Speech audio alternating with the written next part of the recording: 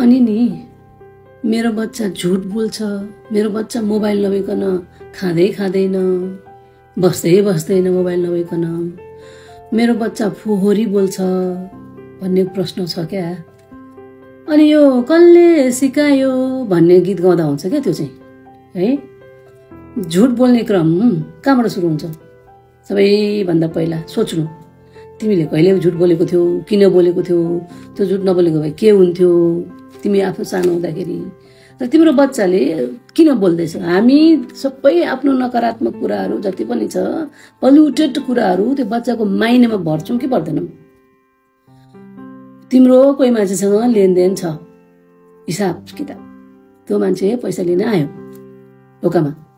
टकटक गर्यो। अथवा क्रिङ घन्टी बजायो। अनि तिमीले के भन्छौ बच्चालाई? जा त। म छैन भन्दै त। बच्चा जान्छ। ढोका खोल्छ खोल्छ होइन ढोका अनि के भन्छ बच्चाले? मामुले भनेको मामु हुनुहुन्न रे अथवा बाबाले भनेको बाबा हुनुहुन्न रे। पहिलो झुटको बिजारोपण कसले गर्यो? हामीले गर्यौँ। मैले त सिकाइसकेँ नि अब उसले त त्यो सिकेको कुरा त म माथि पनि लागू गर्ला नि त फेरि भोलि सोध्छौँ सोच्दैन। अर्को के हुन्छ? हामी त हतार हतारमा छौँ एकदमै।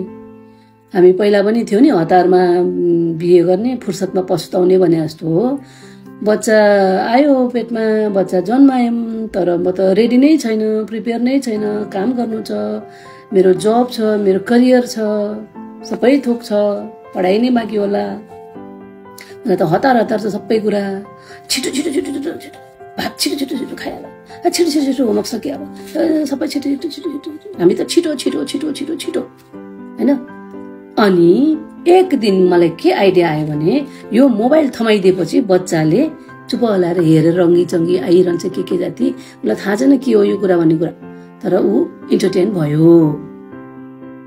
अनि इन्टरटेन भएपछि तिमीलाई एकछिन ढुक्क भयो। खायो त्यसले गर्यो बस्यो। दुई दिन दियो तिन दिन दियो। अब चौथो दिनमा उसलाई मोबाइल चाहिन्छ। मलाई देऊ मोबाइल।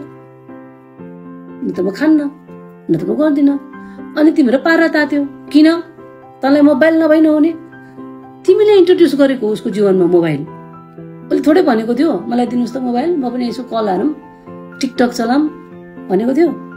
आबो चाहिँ टिकटकमा झुन्डिराख्ने अनि बच्चा चाहिँ के शान्त ज्ञानी भएर आनन्दले शान्तले अनि होमवर्क गरिराख्ने? के कल्पना गरे हौ त्यस्तो?